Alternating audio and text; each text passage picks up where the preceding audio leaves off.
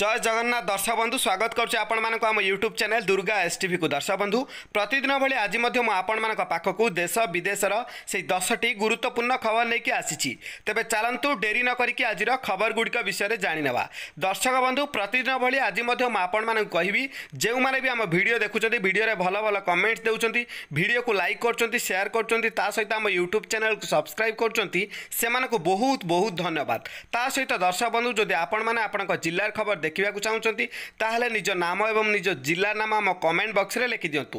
ତା ସହିତ ଦର୍ଶକ ବନ୍ଧୁ ଜଲ୍ଦି ଜଲ୍ଦି ଏହି ଭିଡ଼ିଓକୁ ଏକ ହଜାର ଲାଇକ୍ ପହଞ୍ଚାଇ ଦିଅନ୍ତୁ। ତେବେ ଆସନ୍ତୁ ଜାଣିବା। ନମ୍ବର ୱାନ୍ ପୁଣି ଦଶ କୋରୋନା ପଜିଟିଭ୍ ଚିହ୍ନଟ। ରାଜ୍ୟରେ ଆକ୍ରାନ୍ତଙ୍କ ସଂଖ୍ୟା ହେଲା ଦୁଇଶହ ଉଣେଇଶ। ରାଜ୍ୟରେ ଆଜି ସନ୍ଧ୍ୟାରେ ପୁଣି ଦଶ କୋରୋନା ପଜିଟିଭ୍ ଚିହ୍ନଟ ହୋଇଛନ୍ତି। ରାଜ୍ୟ ସୂଚନା ଓ ଲୋକସମ୍ପର୍କ ବିଭାଗ ତରଫରୁ ଟ୍ୱିଟ୍ ଜରିଆରେ ଏହି ସୂଚନା ଦିଆଯାଇଛି। ନୂଆ ଆକ୍ରାନ୍ତଙ୍କ ମଧ୍ୟରୁ ଗଞ୍ଜାମ ଜିଲ୍ଲାରୁ ସାତ ଜଣ ହୋଇଥିବା ବେଳେ ଅନ୍ୟ ତିନି ଜଣ ହେଉଛନ୍ତି ଭୁବନେଶ୍ୱରର ବାସିନ୍ଦା। ଏଥିସହିତ ରାଜ୍ୟରେ କୋରୋନା ଆକ୍ରାନ୍ତଙ୍କ ସଂଖ୍ୟା ଦୁଇଶହ ଉଣେଇଶରେ ପହଞ୍ଚିଛି। ରାଜ୍ୟ ସରକାରଙ୍କ ସୂଚନା ଅନୁସାରେ ଗଞ୍ଜାମ ଜିଲ୍ଲାରୁ ଚିହ୍ନଟ ହୋଇଥିବା ସମସ୍ତ ଆକ୍ରାନ୍ତ ପୁରୁଷ ସେମାନଙ୍କ ବୟସ ଯଥାକ୍ରମେ ତେୟାଳିଶ ଅଡ଼ଚାଳିଶ ପଚିଶ ଅଣତିରିଶ ଅଣଚାଳିଶ ପଚିଶ ଓ ଷାଠିଏ ବର୍ଷ। ଏ ସମସ୍ତ ଆକ୍ରାନ୍ତ ଏମାନେ ସମସ୍ତେ ସୁରତରୁ ଫେରିଛନ୍ତି। ଗଞ୍ଜାମରେ ଆଜି ସକାଳୁ ମଧ୍ୟ ସତର ଜଣ କୋରୋନା ଆକ୍ରାନ୍ତ ଚିହ୍ନଟ ହୋଇଥିଲେ। ଏଯାଏ ଗଞ୍ଜାମ ଜିଲ୍ଲାରୁ ମୋଟ ଅଠେଇଶ ଜଣ କୋରୋନା ଆକ୍ରାନ୍ତ ଚିହ୍ନଟ ହୋଇସାରିଛନ୍ତି। ସେହିଭଳି ଭୁବନେଶ୍ୱର ଅର୍ଥାତ୍ ଖୋର୍ଦ୍ଧା ଜିଲ୍ଲାରୁ ଆଜି ସନ୍ଧ୍ୟାରେ ତିନି ଜଣ କୋରୋନା ପଜିଟିଭ୍ ଚିହ୍ନଟ ହୋଇଛନ୍ତି। ସେମାନେ ହେଲେ ମଞ୍ଚେଶ୍ୱର ଅଞ୍ଚଳର ଛତିଶ ବର୍ଷୀୟ ଯୁବକ ଭିଏସ୍ଏସ୍ ନଗର ଅଞ୍ଚଳର ଚଉତିରିଶ ବର୍ଷୀୟ ଯୁବକ ଓ ସୂର୍ଯ୍ୟନଗର ଅଞ୍ଚଳର ସତଷଠି ବର୍ଷୀୟ ବୃଦ୍ଧ। ଏମାନେ ଯେଉଁମାନଙ୍କ ସ୍ପର୍ଶରେ ଆସିଥିଲେ ପ୍ରଶାସନ ତରଫରୁ ତାହାର କଣ୍ଟାକ୍ଟ ଟ୍ରେସିଂ କରାଯାଇଛି। ଖୋର୍ଦ୍ଧା ଜିଲ୍ଲାରେ ଏପର୍ଯ୍ୟନ୍ତ ପଚାଶ ଜଣ କୋରୋନା ଆକ୍ରାନ୍ତ ଚିହ୍ନଟ ହୋଇଥିବା ବେଳେ ସେଥିରୁ ବତିଶ ଜଣ ସୁସ୍ଥ ହୋଇଛନ୍ତି ଏବଂ ଦୁଇ ଜଣ ଜୀବନ ହାରିଛନ୍ତି। ନମ୍ବର ଟୁ ରାଜ୍ୟକୁ ପ୍ରବାସୀ ଶ୍ରମିକ ଫେରିବା ନେଇ ହାଇକୋର୍ଟଙ୍କ ଗୁରୁତ୍ୱପୂର୍ଣ୍ଣ ପରାମର୍ଶ। ଲକଡାଉନ ଯୋଗୁଁ ଦେଶର ବିଭିନ୍ନ ରାଜ୍ୟରେ ଲକ୍ଷାଧିକ ଓଡ଼ିଆ ଫସି ରହିଛନ୍ତି। କାମଧନ୍ଦା ବନ୍ଦ ହୋଇଯାଇଥିବାରୁ ସେମାନେ ସେଠାରେ ଚଳିବା ମୁସ୍କିଲ। ଏପରି ସ୍ଥିତିରେ ସମସ୍ତେ ଘରକୁ ଫେରିବାକୁ ବ୍ୟାକୁଳ ହେଉଛନ୍ତି। ଏନେଇ ହାଇକୋର୍ଟରେ କରାଯାଇଥିବା ଏକ ଜନସ୍ୱାର୍ଥ ମାମଲାର ଶୁଣାଣି କରାଯାଇଛି। ହାଇକୋର୍ଟ ଗୁରୁତ୍ୱପୂର୍ଣ୍ଣ ପରାମର୍ଶ ଦେଇଛନ୍ତି। ଫେରିବାକୁ ଥିବା ପରାମର୍ଶଙ୍କ ନମୁନା ପ୍ରଥମେ ପରୀକ୍ଷା କରାଯିବ। ରିପୋର୍ଟ ନେଗେଟିଭ୍ ଆସିଲେ ହିଁ ସେମାନଙ୍କୁ ରାଜ୍ୟକୁ ଆସିବାକୁ ଅନୁମତି ମିଳିବ।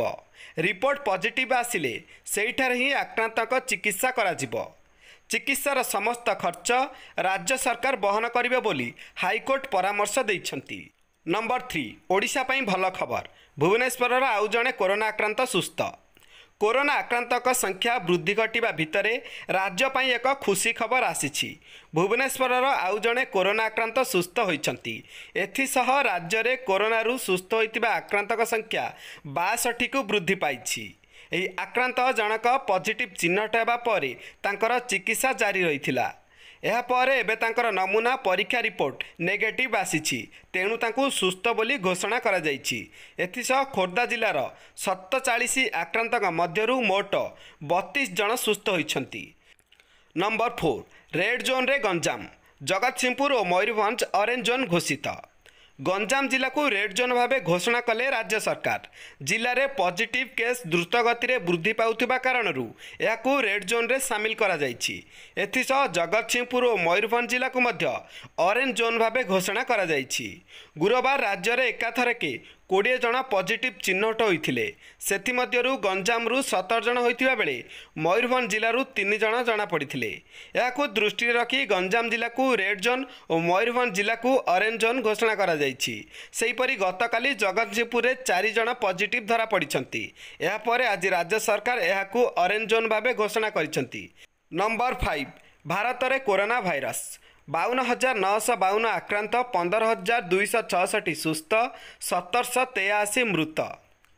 ମେ ସାତ ତାରିଖ ସକାଳ ଆଠଟା ସୁଦ୍ଧା ସମଗ୍ର ଦେଶରେ ବାଉନ ହଜାର ନଅଶହ ବାଉନ ଜଣ କୋରୋନା ଭାଇରସ୍ ଦ୍ୱାରା ଆକ୍ରାନ୍ତ ହୋଇଥିବା କଥା କେନ୍ଦ୍ର ସ୍ୱାସ୍ଥ୍ୟ ଓ ପରିବାର କଲ୍ୟାଣ ମନ୍ତ୍ରାଳୟ ତରଫରୁ ସୂଚନା ଦିଆଯାଇଛି। ଆକ୍ରାନ୍ତଙ୍କ ମଧ୍ୟରୁ ପନ୍ଦର ହଜାର ଦୁଇଶହ ଛଅଷଠି ଜଣ ସୁସ୍ଥ ହୋଇଛନ୍ତି ଏବଂ ସେମାନଙ୍କ ମଧ୍ୟରୁ ଜଣେ ଦେଶାନ୍ତର କରିଛନ୍ତି। ବାକି ସତରଶହ ତେୟାଅଶୀ ଜଣ ଆକ୍ରାନ୍ତ ବ୍ୟକ୍ତିଙ୍କର ମୃତ୍ୟୁ ଘଟିଛି।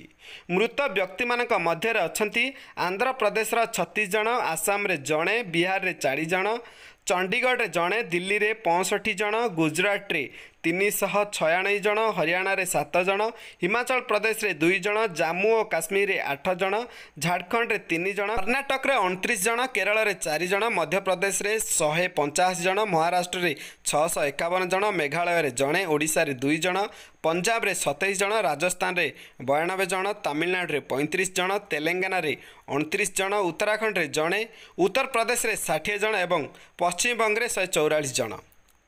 ନମ୍ବର ସିକ୍ସ ମଣିଷଙ୍କ ଉପରେ ଆଉ ଏକ ଭ୍ୟାକ୍ସିନ୍ ପରୀକ୍ଷା ଆରମ୍ଭ ସେପ୍ଟେମ୍ବରରେ ହେବ ଉପଲବ୍ଧ। କରୋନା କାୟା ଦିନକୁ ଦିନ ବଢ଼ିବାରେ ଲାଗିଛି। ୱାର୍ଲଡ ହେଲ୍ଥ ଅର୍ଗାନାଇଜେସନ୍ ଅନୁସାରେ କରୋନା ଭ୍ୟାକ୍ସିନ୍ ନ ଆସିବା ପର୍ଯ୍ୟନ୍ତ ଏହାର ପ୍ରଭାବ କମିବ ନାହିଁ। ଏଥିପାଇଁ ବୈଜ୍ଞାନିକମାନେ ଟୀକା ପ୍ରସ୍ତୁତ କରିବାରେ ଲାଗିଛନ୍ତି। ପୂର୍ବରୁ ମାଙ୍କଡ଼ମାନଙ୍କ ଉପରେ ଭ୍ୟାକ୍ସିନ୍ ପରୀକ୍ଷା ହୋଇଥିଲା।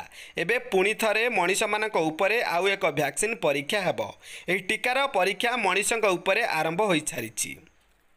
ଜେନେଟିକ୍ ପଦାର୍ଥରୁ ପ୍ରସ୍ତୁତ ଏହି ଟୀକା ଅନ୍ୟ ଟୀକାଠାରୁ ସମ୍ପୂର୍ଣ୍ଣ ଅଲଗା। ଆମେରିକୀୟ କମ୍ପାନୀ ଫାଇଜର ଏବଂ ଜର୍ମାନୀ ବାୟୋଏନ୍ଟେକ୍ ଦାବି କରିଛି ଯେ ପରୀକ୍ଷା ସଫଳ ହେଲେ ସେପ୍ଟେମ୍ବରରେ ଏହି ଟୀକା ଉପଲବ୍ଧ ହେବ। ବୈଜ୍ଞାନିକଙ୍କ ଅନୁଯାୟୀ ଏହି ଟୀକାର କୌଣସି ପାର୍ଶ୍ୱ ପ୍ରତିକ୍ରିୟା ନାହିଁ। ନ୍ୟୁୟର୍କର ଜଣେ ଡାକ୍ତର ମାର୍କ ମୁଲିଗନ୍ କହିଛନ୍ତି ଯେ ସୁସ୍ଥ ଲୋକଙ୍କ ଉପରେ ଏହି ଟୀକା ପରୀକ୍ଷା କରାଯିବ କାରଣ ପରୀକ୍ଷା ସମୟରେ ସେମାନେ ନିରାପଦ ରହିପାରିବେ। ବୈଜ୍ଞାନିକମାନେ କହିଛନ୍ତି ଯେ ଶ୍ୱାସକ୍ରିୟାରୁ ଫୁସ୍ଫୁସ୍ରେ ପହଞ୍ଚି ଏହି ଭୂତାଣୁ ସମସ୍ତ ଅଙ୍ଗକୁ ସକ୍ରିୟ ତଥା ସଂକ୍ରମିତ କରୁଛି। ଏହି ଟୀକା ଶରୀରର ସୁସ୍ଥ ରୋଗ ପ୍ରତିରୋଧକ କ୍ଷମତା ପରୀକ୍ଷା କରିବ ଯାହା ମାଧ୍ୟମରେ ଅଧିକରୁ ଅଧିକ ଶକ୍ତିଶାଳୀ ଆଣ୍ଟିବଡି ଉତ୍ପନ୍ନ ହେବ ଏବଂ ଶରୀରରେ କରୋନା ସଂକ୍ରମଣକୁ ଦୂର କରିବ।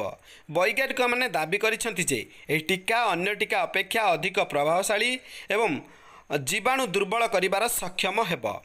ଫାଇଜର ଏବଂ ବାୟୋଏନ୍ଟେକ୍ ଗତ ମାସରେ ଜର୍ମାନୀରେ ବାର ଜଣ ସୁସ୍ଥ ଲୋକଙ୍କ ଉପରେ ଏହାକୁ ପରୀକ୍ଷା କରିଥିଲେ। ଫଳାଫଳ ସଫଳ ହେବା ପରେ ଉଭୟ କମ୍ପାନୀ ଦୁଇଶହ ଲୋକଙ୍କ ଉପରେ ଏହି ଟୀକା ପରୀକ୍ଷା କରିବେ। ଆମେରିକାର ପ୍ରଥମ ପର୍ଯ୍ୟାୟରେ ଛତିଶ ଜଣଙ୍କ ଉପରେ ପରୀକ୍ଷା ହେବ। ଦ୍ୱିତୀୟ ପର୍ଯ୍ୟାୟରେ ପାଖାପାଖି ଆଠ ହଜାର ଲୋକେ ସାମିଲ ହେବେ। ନମ୍ବର ସେଭେନ୍ ଦାଦନ ଶ୍ରମିକଙ୍କୁ ଅଟକାଇଲା କର୍ଣ୍ଣାଟକ। ସ୍ୱତନ୍ତ୍ର ଟ୍ରେନ୍ ସେବା ବାତିଲ ନିର୍ମାଣ କାମ ଆରମ୍ଭ ହୋଇଯାଇଥିବାରୁ ରାଜ୍ୟ ନ ଛାଡ଼ିବାକୁ ପ୍ରବାସୀ ଶ୍ରମିକଙ୍କୁ ଅନୁରୋଧ କଲେ ମୁଖ୍ୟମନ୍ତ୍ରୀ। କେନ୍ଦ୍ର ସରକାରଙ୍କ ଅନୁମତି ପରେ ଏବେ ବିଭିନ୍ନ ରାଜ୍ୟରେ ଫସିଥିବା ଲୋକେ ଘର ବାହୁଡ଼ା ହେଉଛନ୍ତି। ଏହାରି ଭିତରେ ନିର୍ମାଣ କାର୍ଯ୍ୟ ବି ଆରମ୍ଭ ହୋଇଛି। ଏଥିପାଇଁ କର୍ଣ୍ଣାଟକ ମୁଖ୍ୟମନ୍ତ୍ରୀ ବି ଏସ୍ ୟାଦୁରପ୍ପା ରାଜ୍ୟ ଛାଡ଼ି ଘରକୁ ନ ଫେରିବାକୁ ପ୍ରବାସୀ ଶ୍ରମିକମାନଙ୍କୁ ଅନୁରୋଧ କରିଥିଲେ। ହେଲେ କେତେକ ପ୍ରବାସୀ ଶ୍ରମିକ ସ୍ୱତନ୍ତ୍ର ଟ୍ରେନ୍ରେ ଘରକୁ ଫେରୁଥିବା ବେଳେ ମୁଖ୍ୟମନ୍ତ୍ରୀ ୟାଦୁରପ୍ପା ଦାଦନ ଶ୍ରମିକଙ୍କ ପାଇଁ ଉଦ୍ଦିଷ୍ଟ ସମସ୍ତ ସ୍ୱତନ୍ତ୍ର ଟ୍ରେନ୍ ସେବା ବାତିଲ କରିଦେଇଛନ୍ତି। ସେ କହିଛନ୍ତି ନିର୍ମାଣ କାମ ଆରମ୍ଭ ହୋଇସାରିଛି। ଏଥିପାଇଁ ଶ୍ରମିକ ଅଭାବ ପଡ଼ୁଥିବାରୁ ଦାଦନ ଶ୍ରମିକଙ୍କୁ ଆଉ ଫେରାଇବାକୁ ଦିଆଯିବ ନାହିଁ। ଏଥିପାଇଁ ମୁଖ୍ୟମନ୍ତ୍ରୀ ସେମାନଙ୍କ ପାଇଁ ସ୍ୱତନ୍ତ୍ର ଆର୍ଥିକ ପ୍ୟାକେଜ ମଧ୍ୟ ଘୋଷଣା କରିଛନ୍ତି। ଲକଡାଉନରେ ପ୍ରଭାବିତ ଶ୍ରମିକଙ୍କୁ ଷୋହଳ ହଜାର କୋଟି ଟଙ୍କାର ପ୍ୟାକେଜ ଘୋଷଣା କରିଛନ୍ତି। ତେବେ ମୁଖ୍ୟମନ୍ତ୍ରୀଙ୍କ ଏଭଳି ପଦକ୍ଷେପକୁ ତୀବ୍ର ସମାଲୋଚନା କରିଛନ୍ତି ବିରୋଧୀ। କଂଗ୍ରେସ କହିଛି କର୍ଣ୍ଣାଟକ ସରକାର ଜାଣିଶୁଣି ଶ୍ରମିକଙ୍କୁ ରଖୁଛନ୍ତି। ସରକାର ଓ ବିଲ୍ଡର ସଂସ୍ଥା ଶ୍ରମିକଙ୍କ ପାଇଁ କିଛି ପଦକ୍ଷେପ ନେବା ଦରକାର। ଲକଡାଉନ ଯୋଗୁଁ ପ୍ରଭାବିତ ଶ୍ରମିକଙ୍କ ପାଇଁ ମୁଖ୍ୟମନ୍ତ୍ରୀ ଷୋହଳ ହଜାର କୋଟି ଟଙ୍କାର ପ୍ୟାକେଜ ଘୋଷଣା କରିଛନ୍ତି। ପ୍ରତ୍ୟେକ ପଞ୍ଜୀକୃତ ଶ୍ରମିକଙ୍କୁ ପାଞ୍ଚ ଅର୍ଥାତ୍ ପାଞ୍ଚ ହଜାର ଟଙ୍କାର ସହାୟତା ମିଳିବ। ଏଥିରେ ପ୍ରବାସୀ ଶ୍ରମିକ ବି ସାମିଲ ଅଛନ୍ତି। ନମ୍ବର ଏଇଟ୍ ଅଧିକ ଟେଷ୍ଟ କଲେ ଅଧିକ ପଜିଟିଭ୍ ଆସିବ। ଭୟଭୀତ ହୁଅନ୍ତୁ ନାହିଁ ଶାଳିନୀ ପଣ୍ଡିତ। ଅଧିକ ଟେଷ୍ଟ ହେଲେ ଅଧିକ ପଜିଟିଭ୍ ମାମଲା ଆସିବ। ଏନେଇ ଏନ୍ଏଚ୍ଏମ୍ ନିର୍ଦ୍ଦେଶିକା ଶାଳିନୀ ପଣ୍ଡିତ ଗୁରୁବାର ସୂଚନା ଦେଇଛନ୍ତି। ସେ କହିଛନ୍ତି ଦୁଇ ମାସ ତଳେ କେବଳ ଆର୍ଏମ୍ଆର୍ସିରେ ଦିନକୁ ଦଶଟି ଟେଷ୍ଟ ହେଉଥିଲା। ମାସକ ତଳେ ଦୁଇଶହ ପଚାଶ ପନ୍ଦର ଦିନ ତଳେ ଦିନକୁ ଏକ ହଜାର ଟେଷ୍ଟ ହେଉଥିଲା। ଏବେ ଆଠଟି ଲ୍ୟାବ୍ରେ ଦିନକୁ ତିନି ହଜାରରୁ ଅଧିକ ଟେଷ୍ଟ କରାଯାଉଛି। ଗୁରୁବାର ସୁଦ୍ଧା ଆମେ ପଚାଶ ହଜାରରୁ ଅଧିକ ସାମ୍ପଲ୍ ଟେଷ୍ଟ କରିଛୁ। ଅଧିକ ଟେଷ୍ଟ କଲେ ଅଧିକ ପଜିଟିଭ୍ ଜଣାପଡ଼ିବ। ଏହାର ଅର୍ଥ ସଂକ୍ରମିତକୁ ତୁରନ୍ତ ଚିହ୍ନଟ କରିବା। ପଜିଟିଭ୍ ଆସିଲେ ଭୟଭୀତ ନ ହେବାକୁ ସେ ମଧ୍ୟ ପରାମର୍ଶ ଦେଇଛନ୍ତି। ନମ୍ବର ନାଇନ୍ ଓଡ଼ିଶାରେ ଅଟକିଥିବା ବ୍ୟକ୍ତିଙ୍କ ପାଇଁ ଇ ପାସ୍ର ବ୍ୟବସ୍ଥା। ପ୍ରତିଦିନ ପରି ଆଜି ମଧ୍ୟ କରୋନା ସମ୍ପର୍କିତ ଅପଡେଟ୍ ଦେଇଛନ୍ତି ଆଇସି ମୁଖ୍ୟ ସୁବ୍ରତ ବାଗଚି। କରୋନା ସମ୍ପର୍କିତ ଖବର ଦେବାକୁ ଯାଇ ସେ କହିଛନ୍ତି ଯେ ଓଡ଼ିଶାରେ ଅଟକିଥିବା ବ୍ୟକ୍ତିଙ୍କ ପାଇଁ ଇ ପାସ୍ର ବ୍ୟବସ୍ଥା ହୋଇଛି। Covid nineteen dot Odisha dot G O V dot in ୱେବସାଇଟ୍ରେ ଆବେଦନ କରିପାରିବେ। ଅନଲାଇନ୍ ଅନୁମତି ପରେ ସମ୍ପୃକ୍ତ ଅର୍ଥାତ୍ ସମ୍ପୃକ୍ତ ବ୍ୟକ୍ତିଙ୍କୁ ପାସ୍ ମିଳିବ। ସେହିପରି ବାହାରୁ ଫେରୁଥିବା ପ୍ରବାସୀ ଓଡ଼ିଆଙ୍କ ପାଇଁ ସରକାର ଶକ୍ତ ହୋଇଛନ୍ତି। ଯଦି ବାହାରୁ ଫେରୁଥିବା କୌଣସି ପ୍ରବାସୀ ଓଡ଼ିଆ ବାଟରେ କେଉଁଠାରେ ବି ଓହ୍ଲାଇବେ ତେବେ ସମ୍ପୃକ୍ତ ବସ୍ ବିରୋଧରେ କାର୍ଯ୍ୟାନୁଷ୍ଠାନ ଗ୍ରହଣ କରାଯିବ। ଏହା ସହ ଆଜି ଗଞ୍ଜାମ ଜିଲ୍ଲାକୁ ରେଡ୍ ଜୋନ୍ ଘୋଷଣା କରାଯାଇଛି ବୋଲି ସୁବ୍ରତ ବାଗଚୀ କହିଛନ୍ତି। ଲକଡାଉନ ପାଇଁ ବାହାର ରାଜ୍ୟରେ ଫସି ରହିଥିବା ପ୍ରବାସୀ ଓଡ଼ିଆ ପ୍ରତିଦିନ ରାଜ୍ୟକୁ ଫେରୁଛନ୍ତି। ସେ ନେଇ ଛଅ ହଜାର ସାତଶହ ଅଠାନବେ ପଞ୍ଚାୟତରେ ବାର ହଜାର ଚାରିଶହ ଷୋହଳ ଅସ୍ଥାୟୀ ଚିକିତ୍ସା ଶିବିର ବ୍ୟବସ୍ଥା କରାଯାଇଛି। ଏବେ ରାଜ୍ୟରେ ଦିନକୁ ତିନି ହଜାରରୁ ଅଧିକ ଟେଷ୍ଟ ହୋଇପାରୁଛି। ରାଜ୍ୟରେ ପ୍ରତି ଦଶ ଲକ୍ଷ ଜନସଂଖ୍ୟାରେ ଏଗାରଶହ ପଞ୍ଚାବନ ଟେଷ୍ଟ ହୋଇଛି। ଆଗାମୀ ଦିନରେ ଏହି ଟେଷ୍ଟକୁ ବଢ଼ାଯିବ। ଓଡ଼ିଶାରେ ଏପର୍ଯ୍ୟନ୍ତ ପଚାଶ ହଜାରରୁ ଅଧିକ ଟେଷ୍ଟ ହୋଇପାରିଛି। ଅନ୍ୟପଟେ କୋରୋନା ପ୍ରତିଷେଧକ ଆଣିବା ପାଇଁ ପୁରା ବିଶ୍ୱରେ ଗବେଷଣା ଚାଲିଛି। କୋରୋନା ମୁକାବିଲା ପାଇଁ ତିନିଟି ଅସ୍ତ୍ର ମାସ୍କ ପିନ୍ଧନ୍ତୁ ହାତ ଧୁଅନ୍ତୁ ସାମାଜିକ ଦୂରତା ମାନନ୍ତୁ ବୋଲି ବାଗଚୀ ପରାମର୍ଶ ଦେଇଛନ୍ତି। ନମ୍ବର ଟେନ୍ ସୁରଟରୁ ଓଡ଼ିଶା ଆସିବାକୁ ଥିବା ତିନୋଟି ଟ୍ରେନ୍ ବାତିଲ। ହାଇକୋର୍ଟଙ୍କ ନିର୍ଦ୍ଦେଶ ଆସିବା ପରେ ନିଷ୍ପତ୍ତି ନେଲେ ସୁରଟ ପ୍ରଶାସନ। ଓଡ଼ିଶା ହାଇକୋର୍ଟଙ୍କ ନିର୍ଦ୍ଦେଶ ଆସିବା ପରେ ଆସନ୍ତାକାଲି ସୁରଟରୁ ଭୁବନେଶ୍ୱର ଆସିବାକୁ ଥିବା ତିନୋଟି ଟ୍ରେନ୍କୁ ବାତିଲ କରିଦିଆଯାଇଛି। ଏ ସମ୍ପର୍କରେ ସୁରଟର ଜିଲ୍ଲାପାଳ ଧବଳ ପଟେଲ ସୂଚନା ଦେଇଛନ୍ତି। ସାମ୍ବାଦିକମାନଙ୍କୁ ସେ କହିଛନ୍ତି ଯେ ଓଡ଼ିଶା ହାଇକୋର୍ଟଙ୍କ ନିର୍ଦ୍ଦେଶ ପରେ ଟ୍ରେନ୍ ଚଳାଚଳ ଲାଗି ଓଡ଼ିଶା ସରକାର ଅନୁମତି ପ୍ରତ୍ୟାହାର କରିନେଇଛନ୍ତି।